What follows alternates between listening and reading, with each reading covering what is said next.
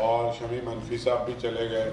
इसके बावजूद पूरी दुनिया में जो लोग उर्दू अदब के जितने बड़े नाम हैं, हमने कोशिश की है कि इसमें शामिल करें। और हमारा इस साल का, चूँकि हमने इस उर्दू कॉन्फ्रेंस से हम पचहत्तरवें इंडिपेंडेंस जो ईयर की सेलिब्रेशन का भी आगाज़ कर रहे हैं, जो कि चल रहा है, और हम उसके साथ अपना कल्चर भी सेलिब्रेट कर रहे हैं। तो हमने थीम इसकी यही रखी है सेलिब्रेटिंग इंडिपेंडेंस एंड कल्चर और डाइवर्सिटी इसीलिए हमने तीन साल से ये किया था कि पाकिस्तान की बाकी ज़बानों को भी आलमी उर्दू कॉन्फ्रेंस के साथ शामिल किया था। सिंधी, पंजाबी, बलोची सराइकी पश्तो। और उसका एक बड़ा अच्छा एक फीडबैक आया। और चूँकि पाकिस्तान एक फेडरेशन है तो हमारी ये कोशिश रहती है कि पाकिस्तान के जितने जो भी सूरत हाल मुख्तलिफ़ सूबों में लोग रहते हैं और वहाँ उनकी ज़बानें और उनके सकाफ़त और को भी प्रमोट करना हम समझते हैं कि हम आर्ट्स काउंसिल ऑफ़ पाकिस्तान हैं तो उसको हम प्रमोट करें। तो ये पहली कॉन्फ्रेंस है कि जिसमें आर्ट्स काउंसिल को के स्पॉन्सर्स भी हमने लिए हैं और ये हर साल अख्तर अली अख्तर सवाल पूछता था कि ये पैसे कहाँ से आ रहे हैं।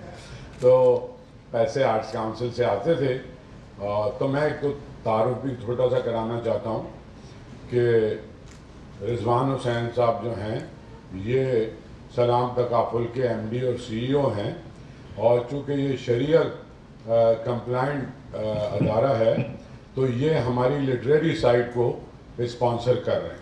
परफॉर्मिंग आर्ट को ये चूँकि इनकी डोमेन में नहीं आता तो उसके अलावा मुशायरे और जितना भी लिटरेरी साइड है, उसकी स्पॉन्सरशिप में सलाम तकाफुल का बड़ा हिस्सा है। सलमान हुसैन, जो इनके भाई हैं, लेकिन अपनी अलग कंपनी चलाते हैं, एक बड़ी टेक्नोलॉजी कंपनी हाई टेक्नोलॉजी उसके ग्रुप चेयरमैन हैं तो ये हमारे स्पॉन्सर हैं। अलीम लाशारी साहब हमारे डीजी कल्चर हैं और कल्चर तो हमेशा से हमारे साथ होता है तो इस साल भी उसी तरह से हमारे साथ है। इसके अलावा हमारा एक और लीड स्पॉन्सर हैं, वो है बैंक ऑफ़ पंजाब। तो वो चूँकि लाहौर में उनका हेड ऑफ़िस है, वो इस वक्त यहाँ मौजूद नहीं हैं, लेकिन वो भी हमारे स्पॉन्सर हैं। तो इस कॉन्फ्रेंस का जो खर्चा था, जब मैंने इनसे बात की और बैंक ऑफ़ पंजाब के जो प्रेसिडेंट है जफ़र मसूद उनसे बात की और सलमान से बात की तो इन्होंने कहा, इतवार को मेरे साथ चाय पिए। तो हमने कहा कि ठीक है, हमने चाय पी और फिर इन्होंने कहा कि कितने खर्चा आपका है? तो एक मेजर शेयर आप समझें कि बैंक ऑफ़ पंजाब ने और इन्होंने मिल कर के और मिनिस्ट्री ऑफ़ कल्चर ने ये इस जितना खर्चा है तो फिर हमने इसमें ज़्यादा चीज़ें ऐसी डाली, खर्चे वाली मतलब नाहिद सिद्दीकी इसमें मौजूद हैं और भी इसी तरह के बहुत सारे सेशन हैं। तो ये एक तो मैं ये, इनका तारुफ कराना चाह रहा था। दूसरा ये प्रोग्राम आपके सामने है, मेरा ख्याल है आपके पास मौजूद है।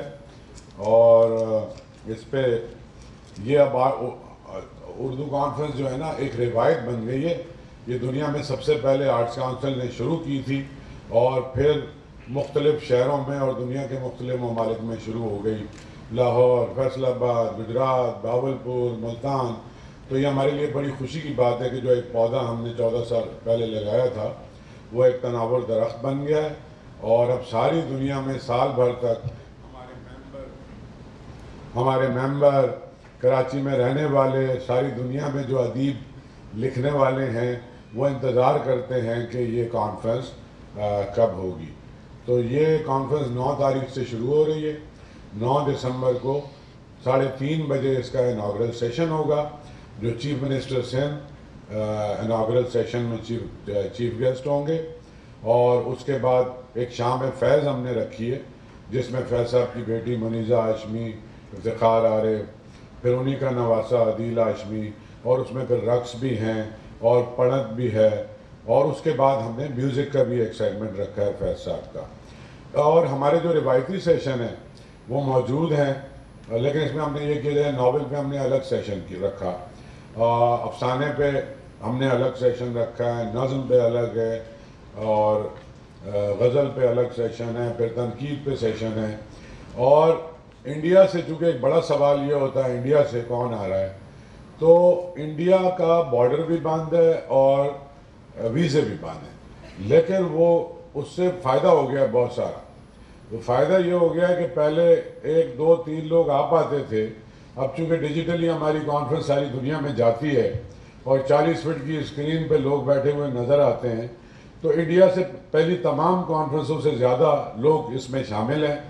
है ना? मतलब जो पहला अफ्ताही इजलास में गोपी चंद नारंग साहब भी हैं इस कॉन्फ्रेंस में गुलजार साहब भी बात कर रहे हैं, जावेद सिद्दीकी भी हैं, अनीस अशफाक भी हैं, इसमें नावलिस्ट भी हैं, इसमें शायर हैं सारे परत एहसास मंजर भोपाली, इसमत मेहंदी खुशबीर सिंह शाद तो मतलब काफ़ी ज़्यादा इंडिया, चूँकि ये दो बड़े उर्दू के मरकज़ तो इंडिया और पाकिस्तान ही हैं तो उसमें से भी फिर काफ़ी सारे लोग ऐसे हैं जो अमेरिका से आ रहे हैं, कनाडा से आ रहे हैं और पाकिस्तान भर से तो पिछली तमाम कॉन्फ्रेंसेस से ज़्यादा लोग आ रहे हैं क्योंकि पिछली बार कोविड की वजह से कोई थर्टी फोर्टी परसेंट लोग फिज़िकली आ सके थे।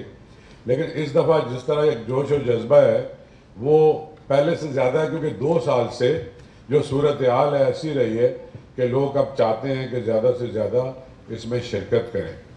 तो आ, मैं मीडिया का पहले दिन से मीडिया ने इस कॉन्फ्रेंस के साथ जुड़ गया है और ये मेरा दावा नहीं है ये हकीकत है कि इस कॉन्फ्रेंस की जितनी कवरेज होती है, पाकिस्तान में किसी भी इवेंट की नहीं होती, चाहे वो गाने बजाने का हो, रक्स का हो, कोई पॉलिटिकल इवेंट हो पाँच छः दिन तक पाकिस्तान का प्रिंट मीडिया इलेक्ट्रॉनिक मीडिया जिस तरह से तो जो एक एक तासर था कि पाकिस्तान का इलेक्ट्रॉनिक मीडिया और प्रिंट मीडिया सिर्फ़ कमर्शियल चीज़ों को करता है, ये उर्दू, हमारा सिंधी मीडिया भी उसी तरह से इसको कवर करता है, जिस तरह से हमारा उर्दू मीडिया करता है। अंग्रेज़ी मीडिया उससे ज़्यादा कवर करता है, हालाँकि उर्दू की कॉन्फ्रेंस है। तो हम इस पर बहुत मुतमैन भी हैं और हम शुक्रगुजार भी हैं। तो मैं अब हमेशा पहले पूरा प्रोग्राम पढ़ के बताता था तो मेरा नहीं ख्याल कि ये बहुत ही एक डाइवर्सिटी है इसमें। और पहले से बहुत ज़्यादा इसमें सेशन है और बहुत सारे याद रफ्तगा के लोग भी।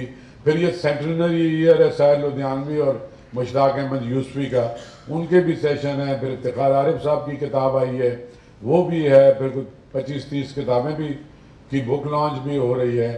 फिर हमने एक पाकिस्तान का सकाफती और समाजी मंजरनामा पचहत्तर साल का रिव्यू कर रहे हैं। पाकिस्तान में ख़वान के क्या मसाइल हैं? उस पर बहुत बड़ी बड़ी अपने शोबे की ख़वान जस्टिस नासरा ज़ुबेरी से लेके और ये सारे लोग बात कर रहे हैं। तो इसको हमने संजीदा, हमने मीशत को भी टच किया है और हफीज़ पाशा साहब इसमें मौजूद हैं। तो हमने कोशिश की है, क्योंकि कल्चर जो है, अब वो बहुत, इसकी जो डेफिनेशन बहुत वास्ट हो गई है। आपकी सोसाइटी का हर एलिमेंट कल्चर का पार्ट है। चाहे वो आपकी इकॉनमी है, चाहे आपकी पॉलिटिक्स है, या कोई भी। तो हमने हार्ड कोर पॉलिटिक्स को उस तरह टच नहीं किया, लेकिन ज़ाहिर है समाजी सकाफती हो, या पाकिस्तान में हमने मीडिया के रिव्यू का एक सेशन रखा है, उस पर भी बात होगी सारी। उसके अलावा नौजवान जो नए मीडियाज़ में आ रहे हैं उस पर भी सेशन है। तो हमने कोशिश की है एक दो महीने मुसलसल डेलीब्रेशन करके मशवरे करके कि जो बेहतर से बेहतर हो वो हम इसमें कर सकें। आ, मैं सवाल भी लूँगा लेकिन उससे पहले मैं चाहता हूँ कि जो इस आलमी उर्दू कॉन्फ्रेंस के स्पॉन्सर हैं और बहुत ही फराग दिली और ग्रेशसली उन्होंने आ, इसमें अपना कमर्शियल एंगल देखने के बजाय अपनी तहजीब और सकाफत और ज़बानों की सपोर्ट के लिए अपना हिस्सा डाला है तो ये बहुत खुश आइंद है। तो मैं रिजवान हुसैन साहब से बात करूँगा क्यों कुछ अगर बात करना चाहते हैं तो करें।